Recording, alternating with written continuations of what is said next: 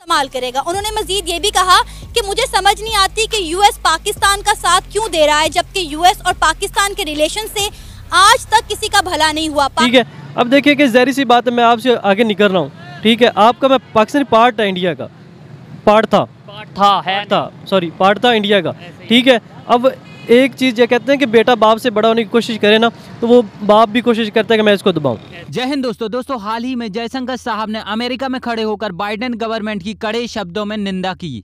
जयशंकर साहब का खुले शब्दों में यह कहना था कि हम अमेरिका और भारत के रिश्ते को लेकर काफ़ी ज़्यादा चिंतित हैं। अब देखिए कि जहरी सी बात है मैं आपसे आगे निकल रहा हूँ। ठीक है आपका मैं पाकिस्तानी पार्ट है इंडिया का। पार्ट था। पार्ट था है था सॉरी पार्ट था इंडिया का। ठीक है अब एक चीज़ ये कहते हैं कि बेटा बाप से बड़ा होने की कोशिश करे ना तो वो बाप भी कोशिश करता है कि मैं इसको दबाऊँ। ठीक है? अब पाकिस्तान और इंडिया ये अलग हो गए ठीक है, अब पाकिस्तान चाहता है कि हमारी इकॉनमी मज़बूत हो इंडिया चाहता है हमारी हो। अमेरिका पाकिस्तान की एफ़ सिक्सटीन डील को लेकर अमेरिका ने जो भारत को दिलासा दिया है, इससे शायद कोई दो साल का बच्चा भी उल्लू ना बने। जयशंकर साहब का बिल्कुल खुले शब्दों में ये कहना था कि हम बहुत अच्छे से ये समझ रहे हैं कि अमेरिका क्या करना चाह रहा है और वो भारत को क्या दिखाने की कोशिश कर रहा है। लेकिन यहाँ पर अमेरिका एक बात बहुत अच्छे से ध्यान रख ले कि अमेरिका पाकिस्तान की दोस्ती में, अमेरिका को आज तक पाकिस्तान से कुछ भी हासिल नहीं हुआ।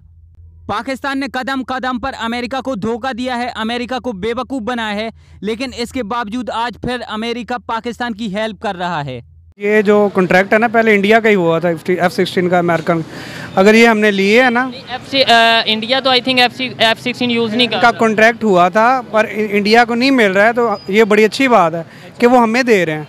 और एफ़ सिक्सटीन वक्त की ज़रूरत है आपको पता है अगर ये चीज़ें फ्लड वगैरह ये तो एक कुदरती आफात हैं ये तो आनी आनी है पर जो जिस तरह के हमारे हालात हैं मुल्क के दुश्मन किसी टाइम भी हमारे ऊपर हमलावर हो सकता है और एफ़ सिक्सटीन हमारे लिए बड़े फ़ायदेमंद है और ये वक्त की ज़रूरत है काम आएँगे और एफ़ सिक्सटीन मज़ीद लेने चाहिए।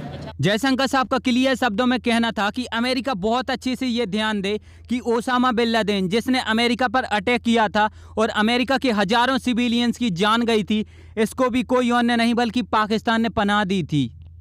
इसके बाद हाल ही में अफ़गानिस्तान में तालिबान को बढ़ावा देकर पाकिस्तान ने एक बार फिर से अमेरिका को बेवकूफ़ बनाया था। जयशंकर साहब का यहाँ पर कहना था कि पिछले कुछ दिनों से हम देख रहे हैं कि अमेरिका और पाकिस्तान के बीच नज़दीकियाँ काफ़ी ज़्यादा बढ़ रही हैं और ये नज़दीकियाँ अमेरिका और भारत के रिश्ते में काफ़ी बड़ी दरार बन सकती हैं। क्योंकि अमेरिका जिससे एफ़ सिक्सटीन की डील कर रहा है, वो हमेशा से ही भारत के लिए एक सिक्योरिटी थ्रेट बना रहा है। और ऐसे में यदि भारत को कोई परेशानी होती है, भारत के सामने कोई चेतावनी आती है तो इसका डायरेक्ट इम्पैक्ट पड़ेगा। अमेरिका और भारत के रिश्ते पर। खैर, जयशंकर साहब की इस क्लियर और कड़े शब्दों में अमेरिका की निंदा करने पर आपका क्या कहना है?